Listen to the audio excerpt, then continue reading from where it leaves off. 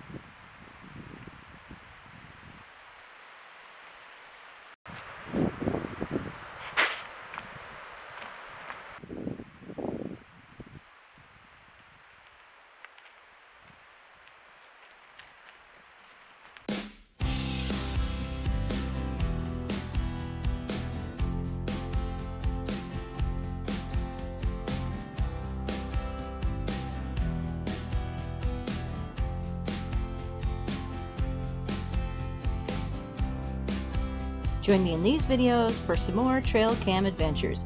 And if you haven't yet, please consider subscribing and smash that like button. Thank you so much for watching.